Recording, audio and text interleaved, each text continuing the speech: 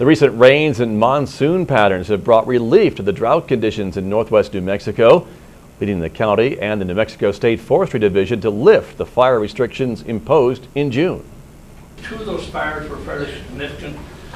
Uh, One fire burned a camper shell, uh, the other fire burned a boat, a camper shell, and an outside storage shed. Both of these were caused by juveniles. Uh, The most major one, the one that got the boats, uh, the boat and the uh, uh, camper shell and the outside storage shed were started by two kids, seven and eight years old. Effective at 8 o'clock this morning, the smoking, firework, campfire, and open fire restrictions were lifted.